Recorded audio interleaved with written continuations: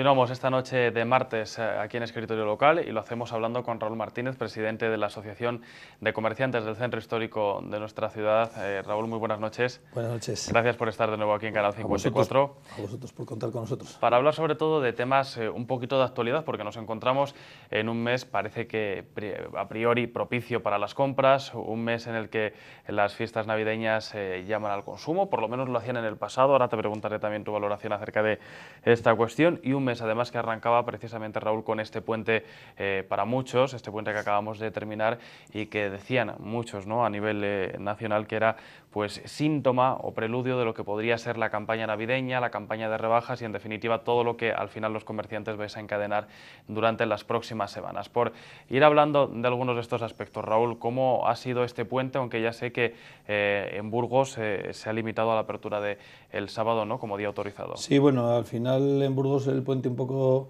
en lo que al comercio se refiere, se ha limitado a que ha habido establecimientos, tanto los autorizados, que son los grandes, digamos, como muchos pequeños que han decidido abrir por aquello de que igual había turismo y gente que viene de fuera que, que igual pues bueno, pues sienten la necesidad o, o la llamada de la compra, ¿no? Y entonces eh, ha habido establecimientos pequeños que se han limitado, o sea, que, que han decidido abrir pero bueno, en definitiva la sensación que tenemos o, o, por lo que yo he podido preguntar por ahí, pues tampoco ha sido nada del otro mundo, o sea que ha sido como un día bastante normalito.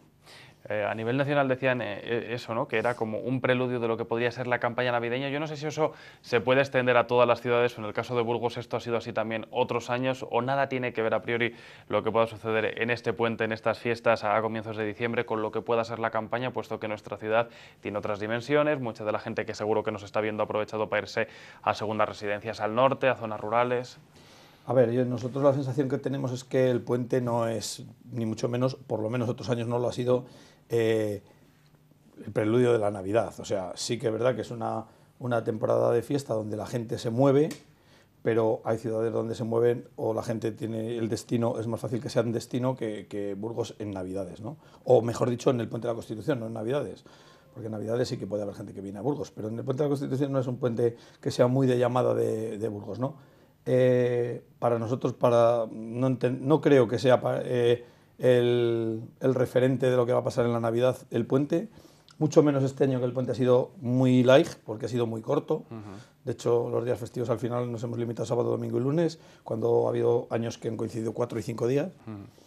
Y, y, la sensación que tenemos es que, bueno, pues que, que, a ver, que la gente, una cosa es que se tome cuatro o cinco días que junte de vacaciones y aproveche el puente y otra cosa es que sea cuando hace las compras, ¿no?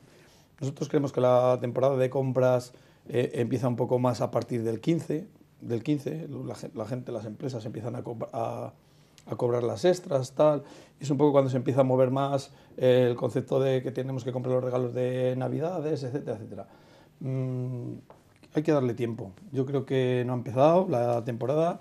Nosotros esperamos que la Navidad sea una, unas Navidades buenas, no, no la panacea del mundo, pero pero sí unas navidades decentes y buenas en el sentido de las compras. Y, y, por lo que digo que, que, tenemos que esperar un poquito, que no nos tenemos que no, no hay que apresurarse, ¿no? Ni, ni, anticipar. Hablas de esa campaña navideña, Raúl. ¿Pensáis que va a ser buena para eh, el comercio de la zona centro especialmente? Pero eh, ¿pensáis que va a ser igual que años anteriores? ¿Va a ser algo mejor? Luego te voy a preguntar por un balance de lo que ha sido este año 2014, aunque todavía queda esta campaña importante ¿no? para finalizar. Pero eh, ¿tenéis más expectativas, por ejemplo, que en la campaña de 2013? Eh, a ver, en líneas generales nosotros pensamos que la campaña de 2014 en Navidades, lo que en principio nos referimos a Navidades, va a ser mejor. Creemos que, la tendencia del año y, y, un poco la situación general va a indicar o nos indica que, las navidades van a ser mejores. De hecho, bueno, ya hay empresas que se están moviendo en el tema de, bueno, pues de reforzar sus puestos de trabajo, sus, o su número de trabajadores para atender un poco la demanda que esperan tener. En Eso es muy importante ¿no? porque en temporadas pasadas no mucha gente ha podido hacerlo, ¿no? Exactamente, no, en temporadas pasadas lo que ha pasado es que eh, sencillamente la gente no lo hacía. Un poco iban, como digo yo, a salto de mata. A ver ¿no? qué pasa, ¿no? Claro, si veo que necesito mucho, pues para mañana llamo, pero de momento quieto aquí que no sabemos lo que va a pasar. Sin embargo, este año ya la gente está haciendo la previsión, con lo cual Eso significa que todo el mundo en general tenemos esa sensación de que todo va a ser un poquito mejor. Y en cuanto a lo que me decías del año, pues, pues la verdad es que empezó bien, mejor que los años anteriores, 2012-2013. Hasta junio fue, yo creo que bastante mejor año que los otros. Eh, incluso, no hasta junio, sino incluso hasta casi después de verano, hasta agosto. Y luego se, se paró bastante. Eh, no entendemos mucho la razón, más queremos entender que ha sido un poco tema de que ha coincidido cacho bueno y quizás la temporada de invierno, o sea, el, cambiar el chip, la mentalidad de comprar cosas de invierno cuando, cuando en la calle está haciendo 17, 18 grados, pues, pues como que no es normal, ¿no? Y entonces la gente, lógicamente, no se ha animado.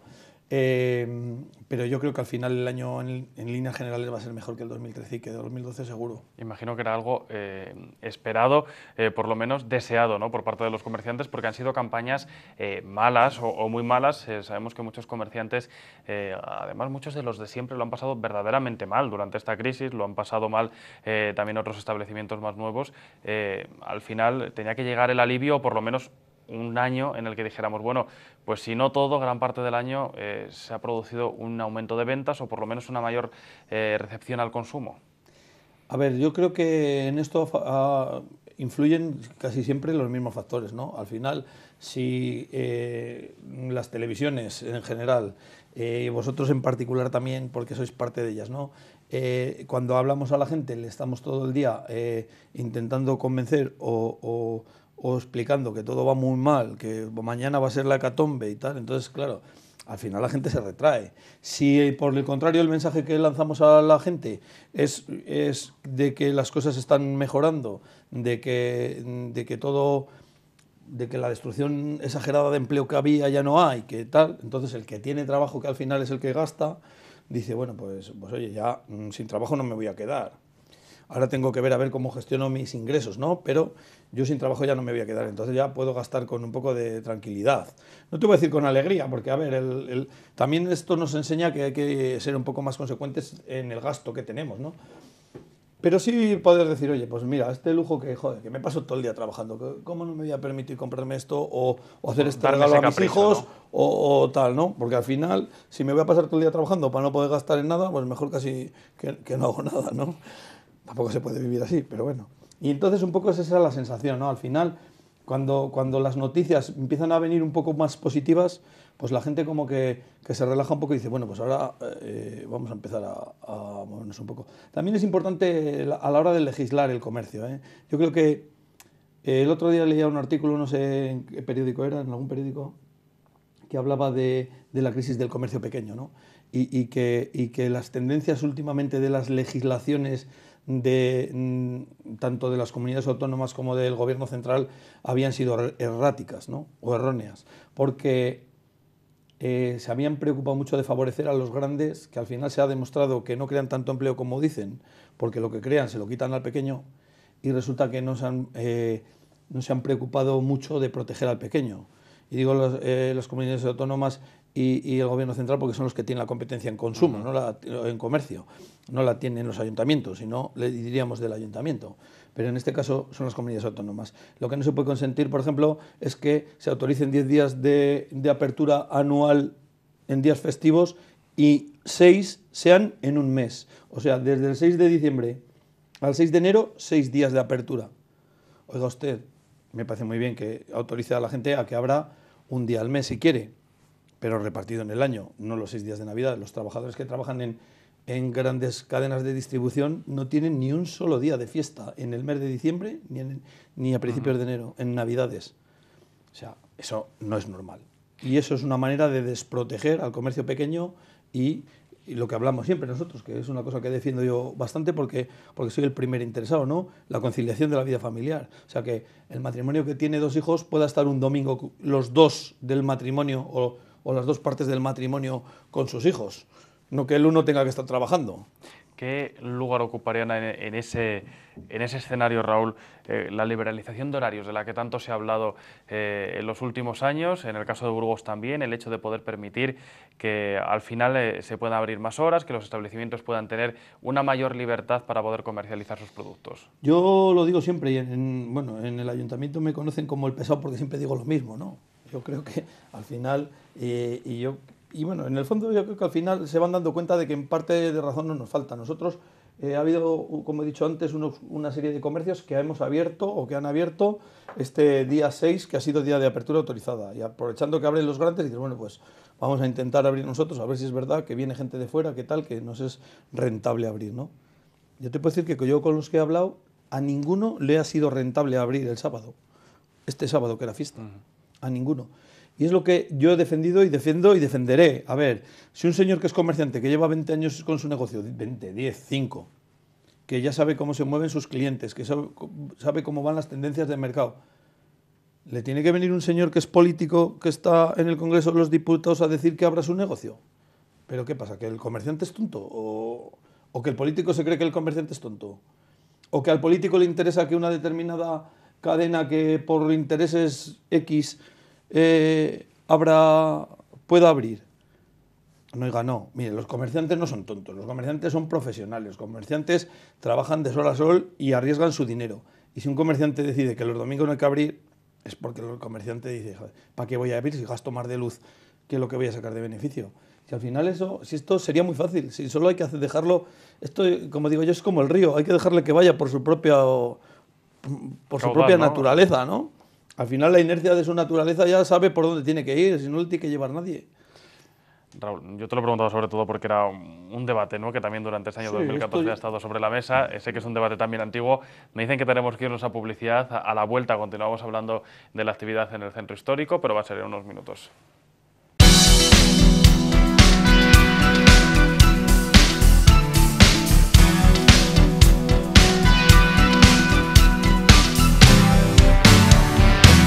Continuamos hablando con Raúl Martínez, presidente de la Asociación de Comerciantes del Centro Histórico de nuestra ciudad. Eh, Raúl, te preguntaba antes de irnos a publicidad por esa liberalización de horarios, ¿no? de la que tanto has hablado también en este año eh, 2014. Decíamos que había sido un año, eh, por lo menos, algo mejor en los primeros meses de lo que había sido otros años eh, anteriores, marcados sobre todo por, por la crisis, por la coyuntura económica. ¿Esta situación se ha repetido en el resto de la ciudad? Sé que desde las asociaciones tenéis contacto, los comerciantes de una zona con otra, sobre todo en algunos momentos puntuales del año eh, ¿La situación por la que ha atravesado el centro es reflejo de lo que se ha vivido en el resto de la ciudad? ¿Estáis en una situación mejor, peor? No sé si podéis comparar.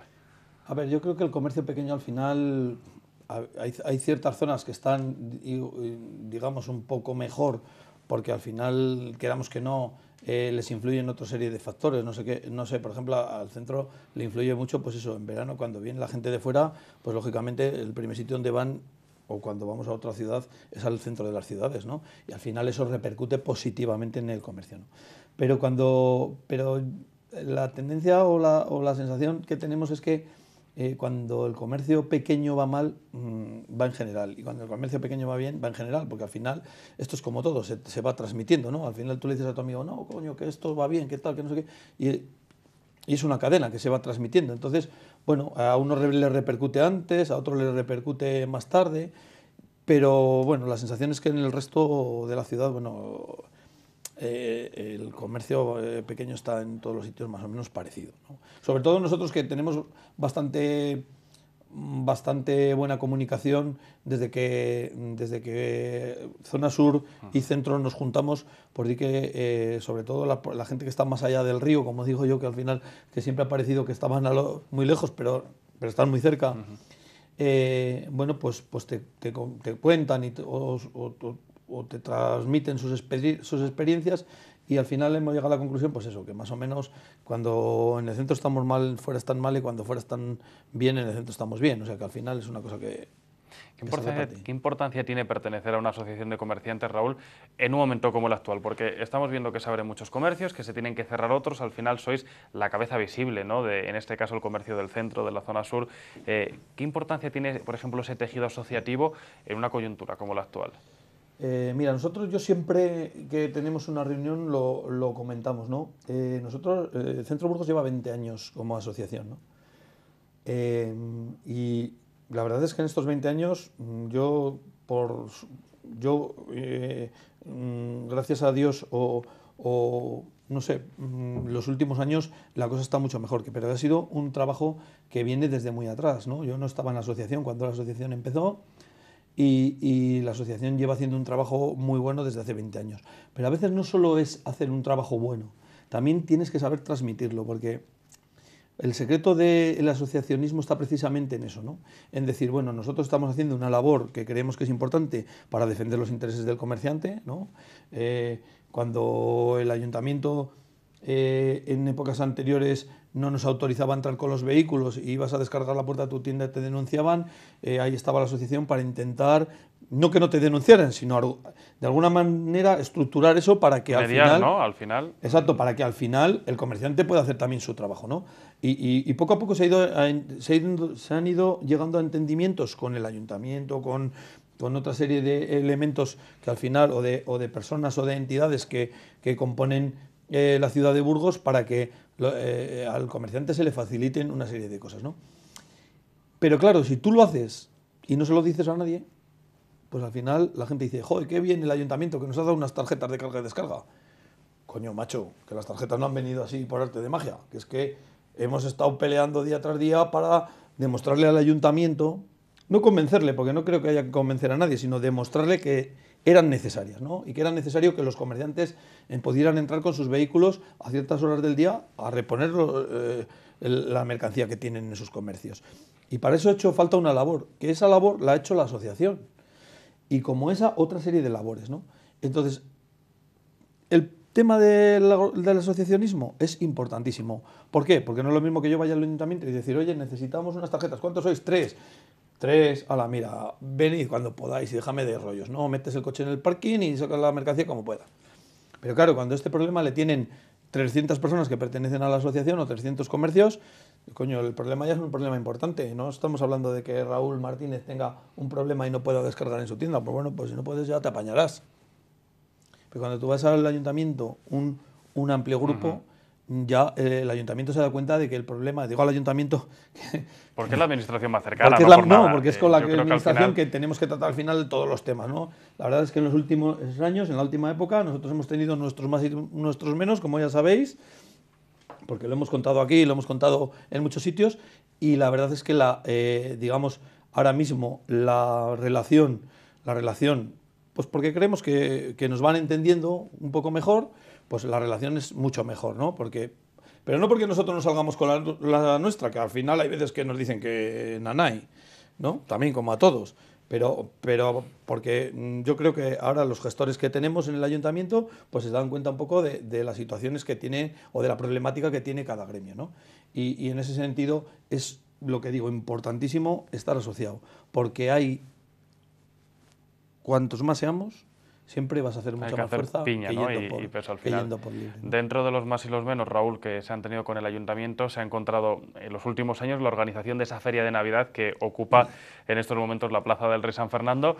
Eh, en esta época en la que nos encontramos, yo te tengo que preguntar cuál es la percepción de la asociación en esta ocasión. Parece que se ha reducido eh, la feria, de hecho no se han instalado tan, tan, tan tantas casetas o el número de casetas que se instaló el año pasado también en otros rincones de la capital. Yo no sé si esto es fruto también de, del consenso con los comerciantes, eh, de vuestra posición, porque al final, eh, durante la presentación, parece que el colectivo, la asociación, apoya también este tipo de iniciativas, pero ¿Cuál es el verdadero efecto que tiene esta feria, por ejemplo, para los comerciantes de la propia plaza, de la asociación o de las cercanías de la catedral?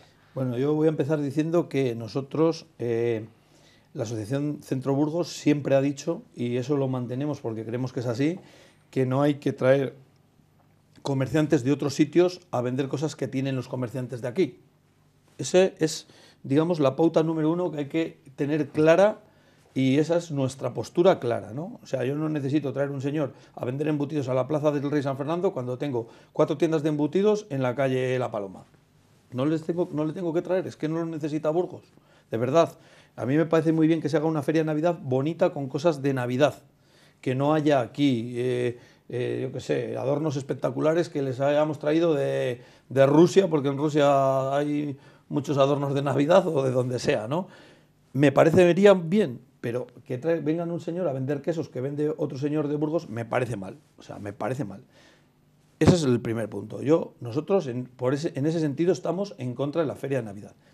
El ayuntamiento desde hace unos cuantos años está en favor de, digamos, dinamizar un poco la calle poniendo una feria de Navidad. nosotros hemos tenido nuestros más y nuestros menos, muchos y muy gordos, ¿eh?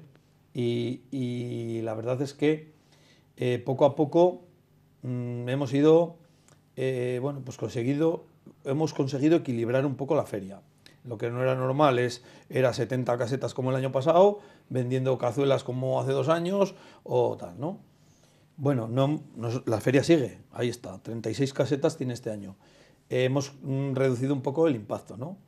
Eh, nosotros el apoyo que le damos al ayuntamiento no es tal, bueno, es, es en parte sí, porque, porque colaboramos en la feria, pero colaboramos haciendo partícipes a los, a los comerciantes burgaleses que quieran participar de, esa posibilidad. Haciendo más visible ¿no? los comercios en, esa feria, por no lo menos. tanto, sino que antes, la primera época, se hacía la feria y no se contaba con los comerciantes de aquí, eh, o con muy pocos, no se contaba por supuesto con los comerciantes del centro, porque la asociación de centro no participaba, nadie le informaba de quién iba, quién no iba y cuánto eran las casetas.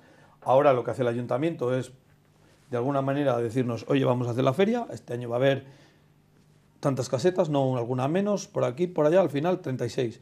36 vale 12 casetas para los comerciantes de Coarte, 12 casetas o para los artesanos, 12 casetas para los comerciantes del ayuntamiento y las otras 12 que disponga de ellas la empresa que monta las casetas. Y esa es la realidad. Al final lo que conseguimos es que de los 36 casetas que se montan, 24 sean entre, los, entre Coarte y los, y los comerciantes que aporta el Centro Burgos, sean la mayoría. ¿no? Al final hemos conseguido dos terceras partes de, de la feria, eh, empresarios o, o, comerciantes de Burgos. ¿no? Para nosotros no, digamos que, no decimos que es una satisfacción total, porque personalmente ya he dicho que lo que nos gustaría es que cada uno venda donde tiene su comercio, que para eso ha decidido montarse ahí, pero la verdad es que, mm, visto lo de años anteriores, pues digamos que estamos dando pasos adelante. Para los comerciantes que me preguntabas de alrededor, pues es un trastorno. Es un trastorno. O sea, viene un turista de Bilbao, viene a ver la catedral y lo que antes igual compraba en las cuatro o cinco tiendas que están por allí, se encuentra en el medio, pues igual se lo compran en la feria. O sea que al final eso es una realidad. Nosotros por eso no estamos a favor de la feria, porque nosotros creemos o consideramos o pensamos o deseamos que, los que el dinero de Burgos se quede en los comercios de Burgos. Es lo que pensamos. Luego cuando los la gente de Burgos se quede sin trabajo decimos, coño, es que se te ha tenido que ir a Madrid. Joder, pero si nosotros cogemos el dinero que ganamos en nuestro negocio y nos lo vamos a gastar en con un señor de Madrid, al final el señor de Madrid será el que tenga que buscar, necesite, el que necesite un puesto de trabajo, el de Burgos no lo va a necesitar. En este mundo de la globalidad, esto es un poco ir para atrás, ¿no? Alguno me dirá, este, este es más antiguo que la orilla del río. Pero es la realidad, ¿eh? No nos vamos a engañar. Raúl, eh, dice el Ayuntamiento que esta feria, por ejemplo, es para dinamizar eh, las compras también en esta época. Otra de las medidas que, por ejemplo, este año se ha implantado, mañana mismo se presenta la programación de Navidad eh, municipal, es el incremento de las luces, de los espectáculos o por lo menos de esas propuestas que también se van a ver en la calle. no sé si también en esto estáis de acuerdo, pensáis que esa mayor iluminación, por ejemplo, este año, ese mayor, esa mayor visibilidad de la Navidad en las calles también contribuye a una mayor venta o por lo menos a que la gente se anime a salir a las calles. Sí, bueno, al final yo digo que si tú estás en una época de Navidad, lo bonito es salir a la calle y ver las calles iluminadas de Navidad y yo qué sé, incluso pasear por calles donde estás oyendo de fondo un villancico o tal, ¿no? Al final sí es verdad que la dinamización de la calle eh, se consigue con iluminación, se consigue con actuaciones y se consigue haciendo cosas. Lo que no estoy tan de acuerdo es que se consiga con la Feria de Navidad, pero pero sí que es verdad que al final, eh, bueno, pues eh, el hecho de verte en un ambiente navideño, pues también te invita un poco a, a, pensar en eso, en la Navidad. Y dices, bueno, pues tengo que hacer un regalito de Navidad para fulanito, para tal. Y, y eso siempre ayuda. Siempre Todo ayuda a ser bienvenida, ¿no? En este Lo que no ayuda es la tristeza, que estén las calles apagadas, que, que se enciendan las farolas, tal, ¿no? Pues, bueno, mira, esto es una crítica también de las últimas semanas. Sí, bueno, eso ya lo, lo, comentamos. Yo al final mmm, no, no, lo sé, es, es difícil, ¿eh? La verdad es que hay que ponerse también en el pellejo. Yo, digamos que, mm, gracias a Dios, últimamente tengo mm, buena relación con Salvador de Foronda, por ejemplo, y sé que se te vuelve loco para hacer los números. Y al final sí que es una realidad que si tienes que pensar en ahorrar de, alguna, de algún sitio, Claro, cuando, cuando te toca, dice, no, es voy a pagar las luces de tu calle 15 minutos todos los días a primera hora de la tarde. Es un trastorno, ¿no? Pero claro, eh, el dinero hay que sacarlo de algún Hay que lado. No sé, buscarlo, ¿no? Es complicado, ¿eh? hay que reconocer que es complicado. Raúl, para terminar, te preguntaba por ese balance de 2014. Decíamos que a priori esos meses, insisto, habían sido, esos primeros meses habían sido algo mejores. ¿Cómo se presenta el año 2015? No sé si estáis eh, expectantes a lo que pueda suceder en esta campaña de Navidad, 100 rebajas para poder hacer una valoración, pero teniendo en cuenta los datos que nos deja este año, ¿pensáis que va a ser eh, el año definitivo de la mejoría para los comerciantes? Yo estoy convencido. Yo, de verdad, y no es por, por eh, adorarle los oídos a nadie ni, ni por crear una falsa expectativa, ¿no?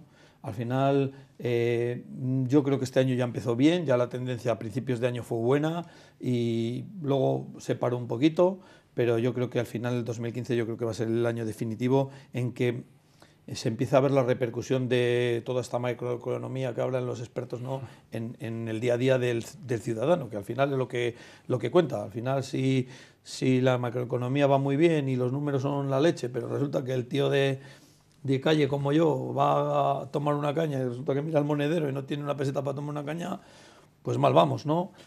Eh, las expectativas yo quiero pensar que son buenas. Y entonces vamos a, a, empezar el 2015 con la máxima ilusión, esperando que las rebajas que empiezan el día 7, porque nosotros vamos a seguir recomendando que se mantengan los periodos de siempre, eh, las rebajas que empiezan el día 7 sean espectaculares y de ahí, bueno, pues esto es como todo, ¿no? Si al final arrancas con velocidad puedes llegar lejos, si arrancas despacio seguro que te caes así nada más empezar. Nos vamos a quedar con, con, esto, con este mensaje de optimismo, Raúl, de cara al próximo año. Eh, te agradezco mucho que hayas compartido con nosotros este ratito. Eh, desear felices fiestas a todos los comerciantes desde aquí, desde Canal 54, para que esta campaña sea muy buena para todos, porque al final se traducirá en el bienestar de la ciudad, sin duda. Y felices fiestas. Y yo os agradezco que hayáis tenido con nosotros este detalle de, de invitarnos y a todos los burgaleses pues que pasen unas felices fiestas y que lo disfruten lo, lo, lo mayor posible. Gracias Raúl y nosotros continuamos en Escritorio Local.